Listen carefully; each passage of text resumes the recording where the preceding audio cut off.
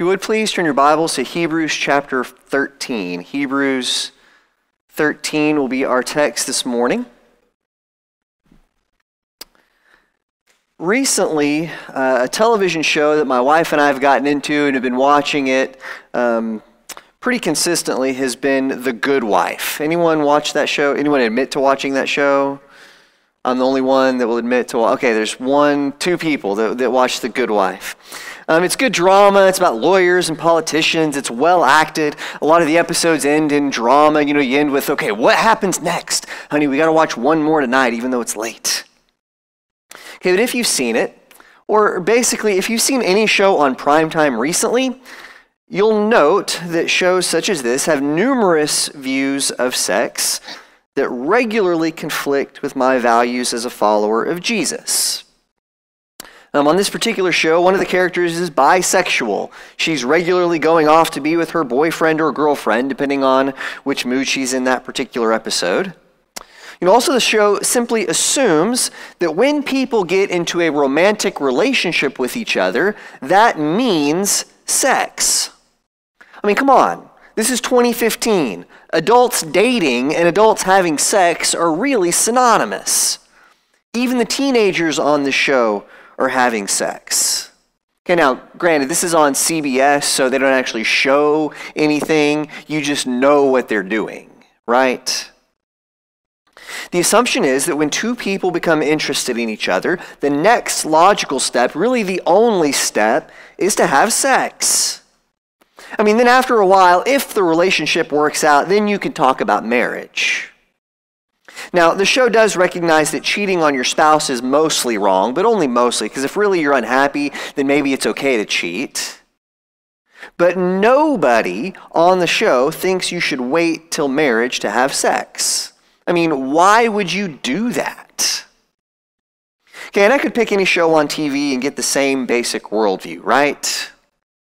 The default assumption is you meet someone, you have sex with them, then if you truly fall in love, then we can talk about getting married. Or maybe not.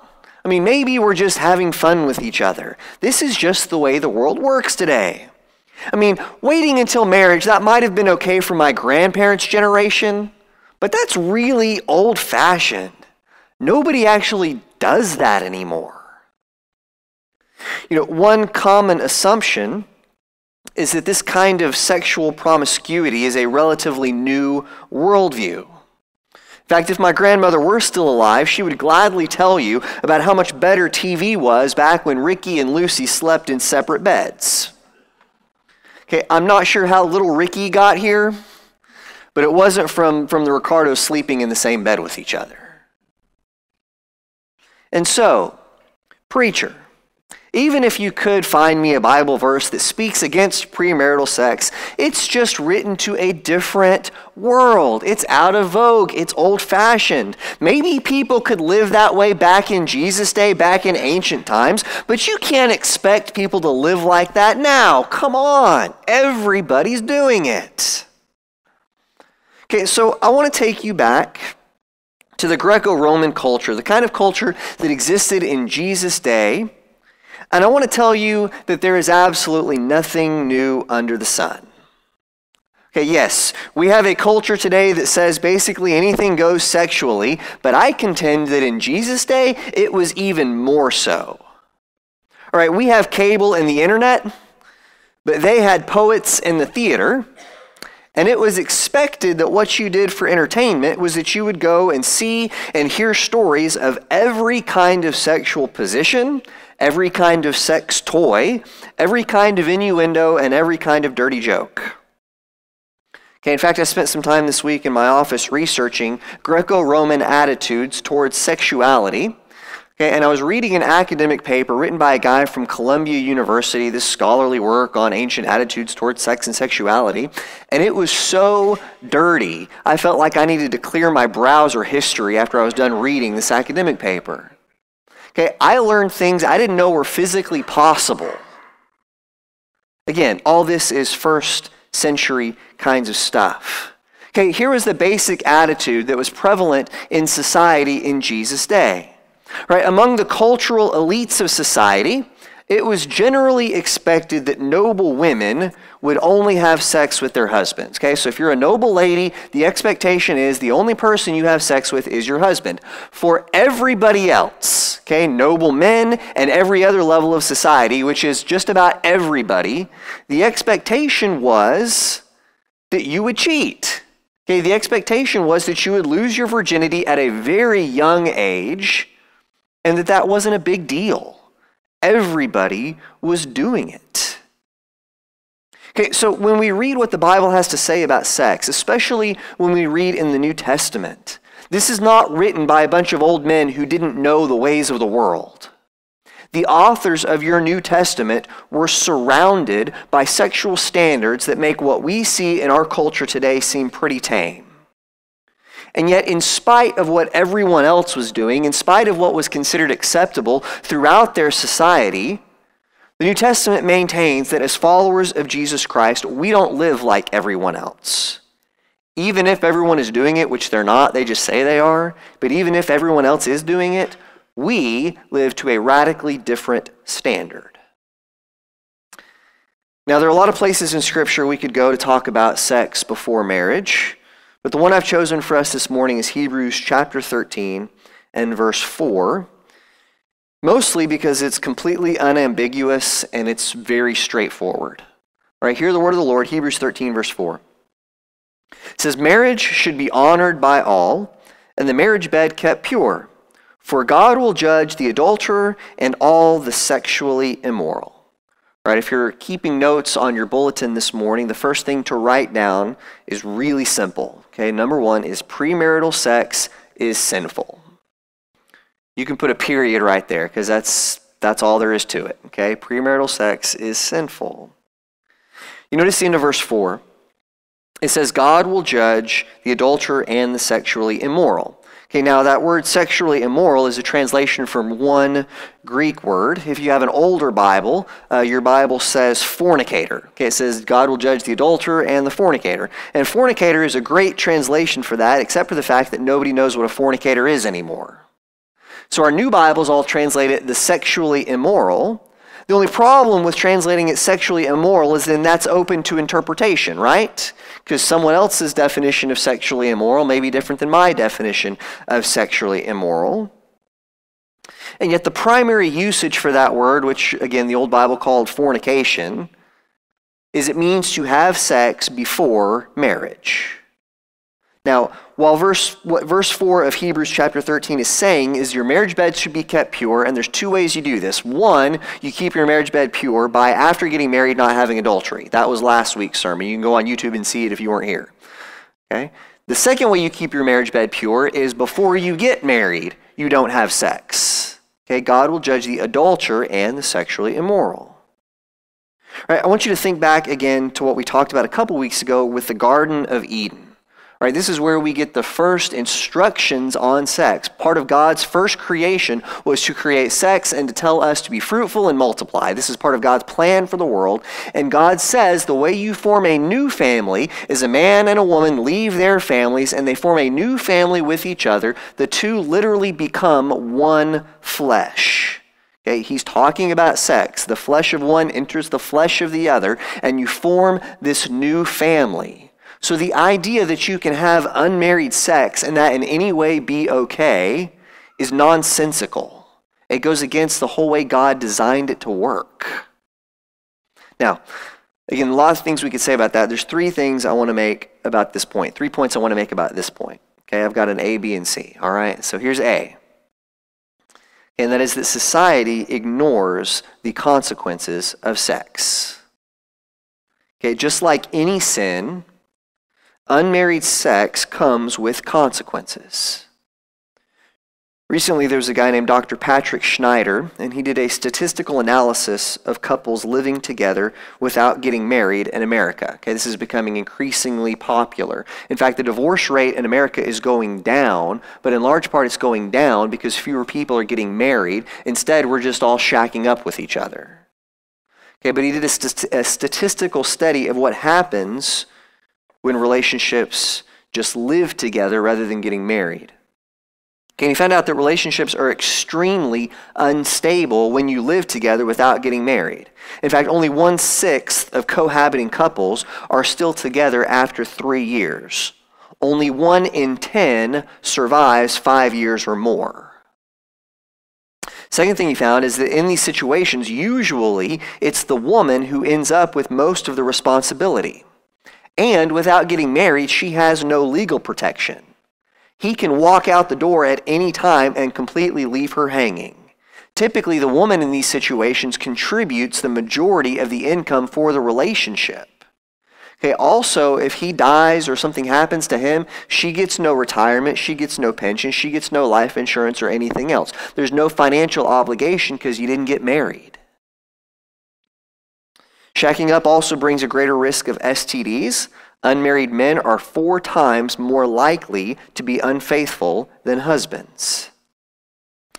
Also, there's a great link between poverty and just living together. Uh, those who share a home but never marry have 78% less wealth than people who get married.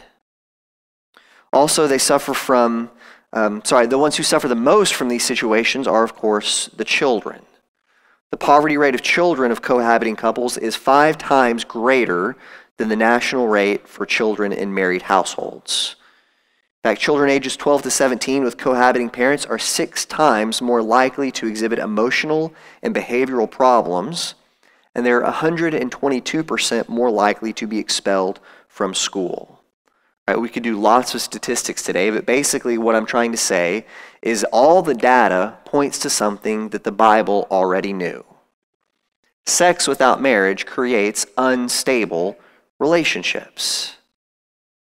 Okay, again, we could spend the rest of the morning talking about the trouble you can get into with premarital sex, about how it leads to unplanned babies and diseases, horrible emotional baggage. I could give you statistics on all of those things.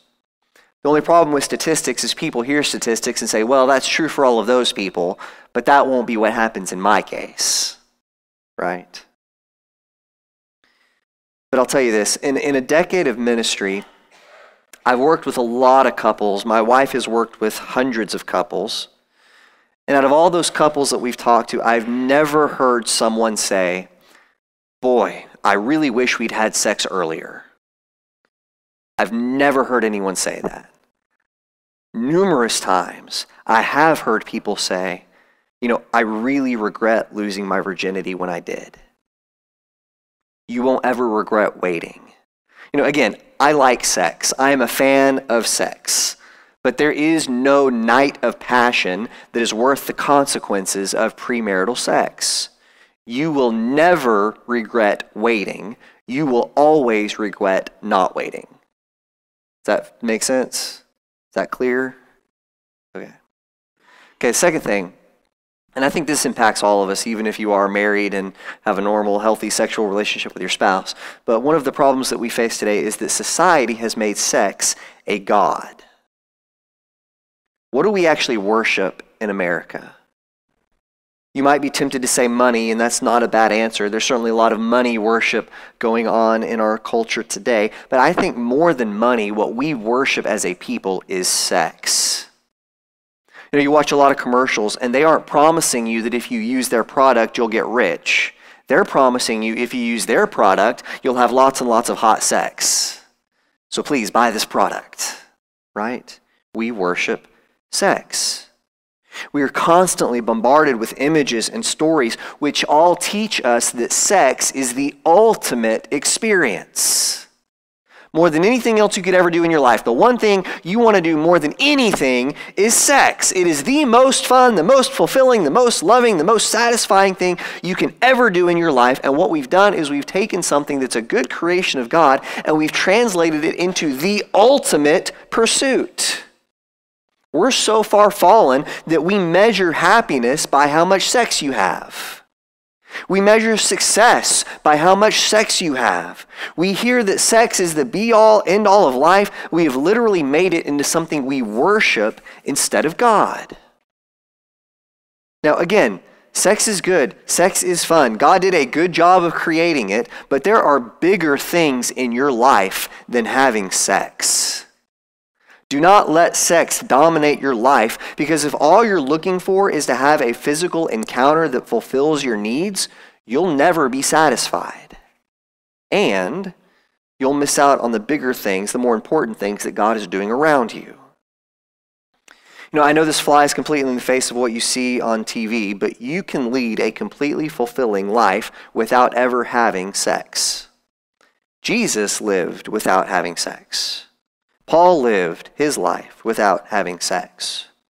Lots of people live lots of wonderful lives and have been completely happy and well adjusted without having sex. Sex is not the best thing in the world. Don't let it become a God. All right, C, or subpoint number three, however you want to do that. That is that society has made sex an identity issue. Okay, we've made it into an identity issue. This is a point we will hit again and emphasize even more next week. Next week, we'll talk about homosexuality. Okay, but your identity and who you are as a person, the foundation of your being, doesn't come from your sex and your sexuality. Okay, it is a mistake to let sex define who you are. You know, guys tend to define themselves in terms of accomplishments girls tend to define themselves in terms of relationships. So, usually, the way this works with sex is that guys will look at sex as an accomplishment. Okay, am I a virgin or not? How many girls have I had sex with? How good am I at sex? Girls tend to view sex as an aspect of relationships. Well, if we're really in love, then sex will draw us closer together. Or if I really want affection, then the way I can get it is by having sex. Okay, both of those views are completely wrong headed because instead of defining ourselves first as a child of God, we define ourselves in terms of sex. Guys, your prowess isn't measured by sex. All right? Sex does not make you a man. Any fool can get a girl pregnant. Right? Most 12 year old boys can get a girl pregnant. That doesn't make them men. Okay, that's not strength. True strength, truly being a man, is being in control of your body. It's not letting your body be in control of you. Okay, and girls, your self worth doesn't come from how any boy thinks about you or treats you. Sex will not make him love you more. It will not draw you closer together. A guy is fully capable of having sex with you and he doesn't care about you at all. Sex isn't going to make him like you better. Okay, the only thing sex can do is make it harder for you to have a meaningful relationship in the future because one of the qualities that good guys look for is a girl with purity. God knew what he was doing when he created sex. He knew what he was doing when he made it for a husband and wife to enjoy. Sex outside of marriage is sinful and it has some pretty severe consequences. Now, just like we talked about last week with adultery, premarital sex can be forgiven. Okay, any sin can be forgiven. The power of Jesus and the blood of Jesus is much more powerful than your sin, but it will make your life a whole lot easier if you just don't go there. All right, now you may be tempted at this point in the sermon to say, Preacher, this is all fine for youth, this is fine for the single people here, but I'm married. Okay, this doesn't apply to me anymore. And to you, I say, we should consider the rest of Hebrews chapter 13. Okay, if you still got your Bible open, notice the context for verse 4. Go to Hebrews 13, start in verse 1. Here writes, Keep on loving one another as brothers and sisters. Do not forget to show hospitality to strangers, for by so doing, some people have shown hospitality to angels without knowing it. Continue to remember those in prison as if you were together with them in prison, and those who are mistreated as if you yourselves were suffering. Marriage should be honored by all, and the marriage bed kept pure. For God will judge the adulterer and all the sexually immoral. Keep your lives free from the love of money, and be content with what you have, because God has said, Never will I leave you, never will I forsake you. So we say with confidence, The Lord is my helper. I will not be afraid. What can mere mortals do to me? Remember your leaders who spoke the word of God to you. Consider the outcome of their way of life and imitate their faith. Jesus Christ is the same yesterday, today, and forever. All right, to understand this paragraph of Scripture, I think the very first line sets the theme for all of it. Okay, notice again that first line. He says, Keep on loving one another as brothers and sisters. I think everything that follows that we just read is about defining what true love is, and Hebrews says several things that will show that you have a church community of true love.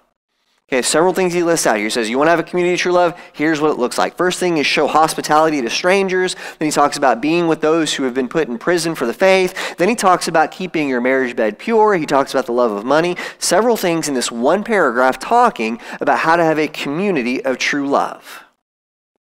Now, I contend that the reason a lot of premarital sex happens is because people are looking for true love and they mistakenly think that sex and love are the same thing.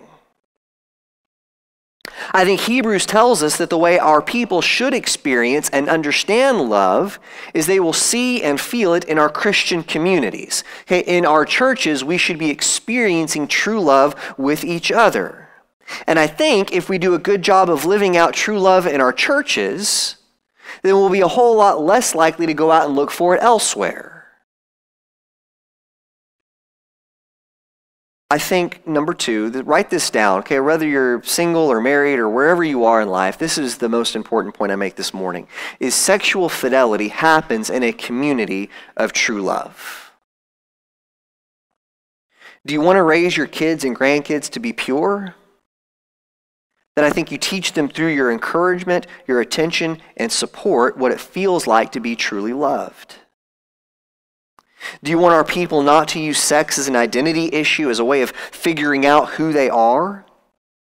Then I think we need to live our lives demonstrating that we are children of God and that that means something. And it means we live in a way that is radically different than the world around us. I want my kids to grow up feeling loved without having to go have sex to find it. I want my kids to grow up knowing who they are without having to root their identity in sex. I want them to know that there is a community of people behind them who loves them dearly and values them fully, and that they get their identity from here, okay, and not from out there somewhere. So the responsibility for sexual fidelity is on all of us. What are we doing to create a community of love where our people can grow up in an environment where these temptations aren't that big of an issue? And you want to know something else that a community of love doesn't do?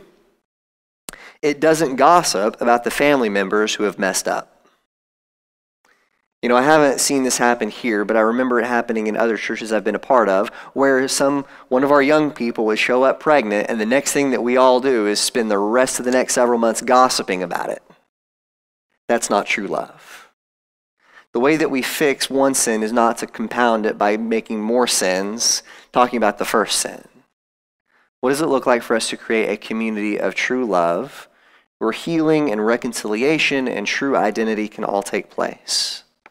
Okay, the final thought I want to leave you with is a question. That is, I want all of us to think how can we do a better job of continually loving each other and supporting each other here at GCC? What does it look like for us to have a community of true love? All right, at this time in our service, we're going to sing a few verses of an invitation song. During the singing of this song, I will be down front. One of our shepherds will be down front. We would love the opportunity to talk with you or pray with you about anything that's going on in your life, about anything that's going on that we can help you with. If there's any need you have, please come forward, talk to us now while we stand and while we sing.